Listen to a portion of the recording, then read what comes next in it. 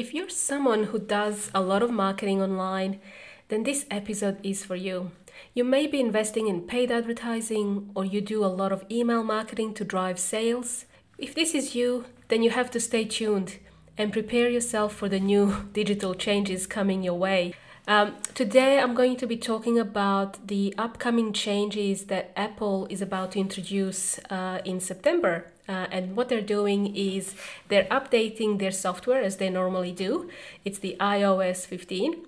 And this is all about putting users in control of their privacy, um, and which will ultimately impact how we as business owners track success uh, for email marketing efforts.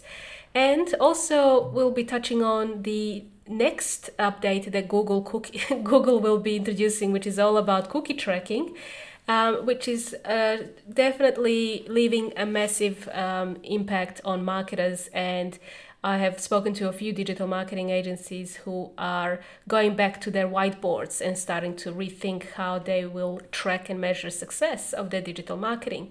So today, I want to explore what these changes mean for digital marketers and business owners and how we can all build immunity from these constant tech changes and how we can future proof our business growth online. So let's tune in.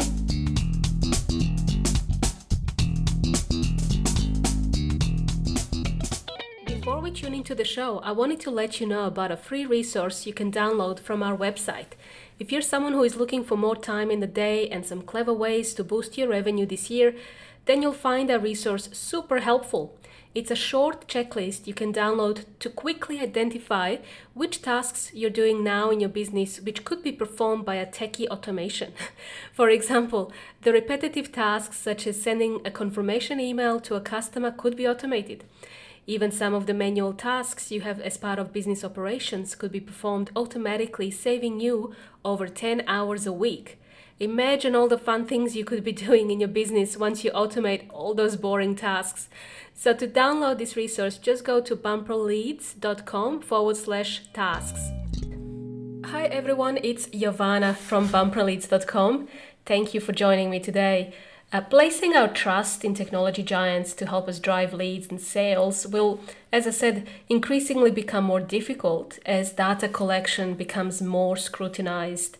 We need to start thinking about how to future proof our digital marketing so that we become immune to any future algorithm changes by whether it be Facebook, Google, or these big tech giants. We have to say goodbye to doing spammy ads and emails, and we have to welcome marketing strategies that actually respect consumers' time and attention spans. I have to say, the honeymoon period that we enjoyed as marketers over the last seven years, I believe, uh, where we get to rely on third party cookies to, to gather information and to target our uh, customers and leads uh, may potentially be over. So I would like to start with a quote. I came across this quote and it's by David Ogilvy, who is the he was actually known as the father of advertising and he famously said this. The consumer is not a moron, she is your wife. so his statement serves as a reminder for marketers to put their customers first and to stop putting our trust in uh, tech giants to collect data around our customers to drive sales. And the use of third party cookies uh, made many consumers really feel exposed and vulnerable. Uh, really, it, is quite creepy if you uh, understand how this data is collected, then you feel like you, you're being spied on. The overuse of cookie tracking by some advertisers has actually forced the European regulators to introduce stricter privacy laws around data protection. So you would have heard of GDPR, which is uh, which stands for General Data Protection Regulation, and that is a huge, massive change in 2000, I believe, enforced, started to become enforced in May 2018. And in this ever changing digital landscape, business owners might be wondering what they can do to future proof their digital marketing efforts so that you don't rely on these new algorithm changes or these privacy changes and that you actually treat your consumer like she is your wife. so, number one thing is that we need to start thinking about building our own runway. What do I mean by that? When it comes to digital marketing, we seem to put all our faith into these big tech giants. Here's a very simple example to illustrate this point. When we want to get new leads, we go to Facebook to advertise. There is an acquisition cost associated with this. If you're paying for each lead, it would make sense for you to collect this lead and store it on your own database and don't leave it on the Facebook platform. However, we've met many businesses who don't do anything with these leads. They pay for them and leave them on Facebook. When the time comes to get leads again, they would go back and pay Facebook again to acquire them, and so on. So you can see that the acquisition cost can actually skyrocket for you. Imagine if you could capture these leads and learn more about them. You could collect more data so that you can segment them into buckets in order to help you improve your advertising efforts. By owning your own customer data, you start to build an asset that is yours, as opposed to leasing it from the tech giants and you know being at the mercy when they decide to change algorithms to suit them. Even during turbulent times, when tides change, you can always nurture your customers into a transaction when you own your own customer data. Now, uh, the second point that's very important to understand when it comes to digital marketing and being in control of your own customer data is to uh, be mindful and respect, respectful of your consumers because now we know that your consumer is your wife. Uh, is to ask your customers for permission first. Uh, this is a concept that was coined by seth godin. Uh, it's, it's often referred to as permission based marketing. So to give you an example have you ever signed up to receive any updates from a brand that you love?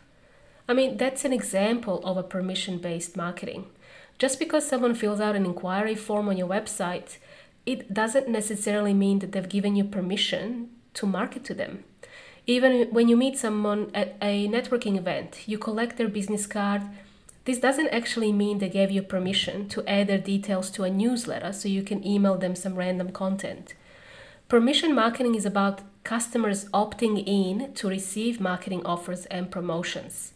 Permission based marketing is a way for businesses to offer incentives that align with their customers' interests. So, receiving permission to market to your contacts is a way you can build trust, value, and brand loyalty. Likewise, if your contact hasn't given you the permission to market to them, it can result in customer frustration, privacy violations, and lost business. And by asking for permission, you get to qualify your leads better, which helps you achieve a quality database of leads that you can trust. Having a trusted database of leads becomes important if you're looking to future proof your digital marketing efforts. To simplify this point further, your next email that you send won't be marked as spam. the other point I would like to make is that the, the quality of data that you're collecting. With all the changes that are occurring now with Apple privacy update uh, for the software update that is actually scheduled to be released in about a week uh, away. So this is September 2021. Uh, and browse the third-party cookies that are dying out. It's really time to start to build our own kind of baseline of the data that we already have. Start creating metrics to track your email marketing and advertising efforts now so you can easily benchmark how the new changes will impact your business. In the US, uh, for example, when Apple rolled out the iOS 14 update that prevented Facebook to collect uh, prevented Facebook collecting cookies for advertising purposes, and there's been, I think, a lawsuit even between these big giants uh, because of this.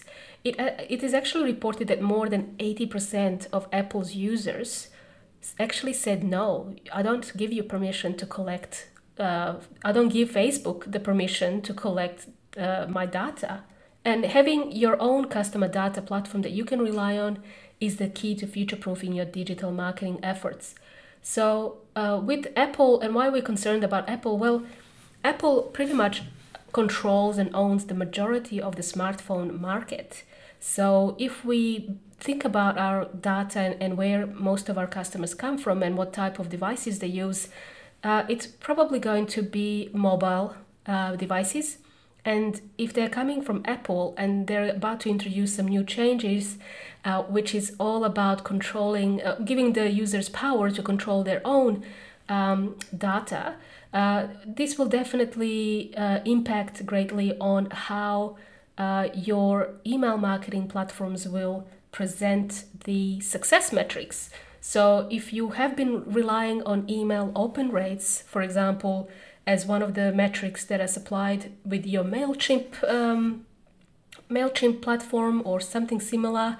People often ask us what, what is the industry benchmark for email open rates? That's a very typical question.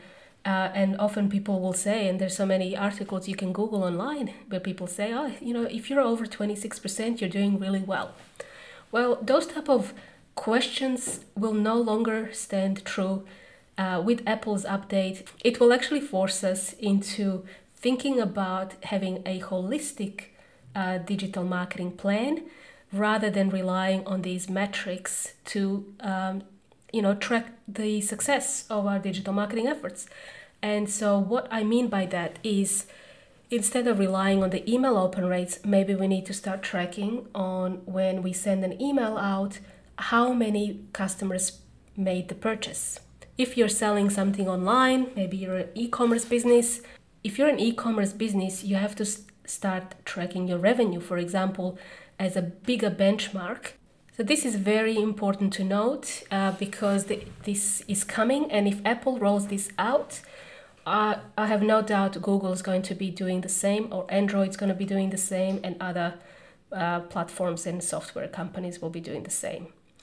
So, what I would be doing next is I would be thinking about maybe I need to invest in a smart marketing automation platform. And a great marketing automation platform can actually collect more than just an email address from your visitors and subscribers. Um, you can create smart data capture forms that, that can assist you in collecting more data from your customers. And the key is to really ask them in the way of a survey. When a customer decides to give you their name, email address, phone number, date of birth, it's, re- it's really what we call um, first party data. So you're actually collecting the data firsthand, you're holding it in your platform. This is not a third party data, which is what these regulations are all about. The regulations are about stopping uh, another app uh, selling or sharing your information with another app. A smart marketing automation platform can help you segment leads and customers. So once you have all the data, you can do all the segmentation and all the fun things you want to do um, as well as you can automate steps so you can nurture them with information that they are interested in receiving. So, in order to stay ahead of any algorithm changes, it is a must to invest in a great marketing automation platform. If you need help finding one for your business, just let me know. You can contact us at bumperleads.com and we're happy to show you what tech is best fit for uh, your business. So, once you have the best platform that works for your business, the next step is to actually start building a 360 degree view of your leads and customers. And this all starts with a strategy on how do you plan to collect and nurture these leads? Once you start to collect and get the feedback or the view that you need about your customers, you will also be able to segment and categorize them based on how frequently they engage with you. Not only how they engage with you via email, but also on other channels and platforms you will have a fully integrated marketing system that shows the whole view of your customers. Your marketing will start to feel personal and you will be able to stay front of mind with your customers by sending them the right messages at the right time. By knowing all of what I've just mentioned, you will be able to start building your own, I guess, marketing growth system that is designed to help you attract the right leads to your business to drive sales and business success.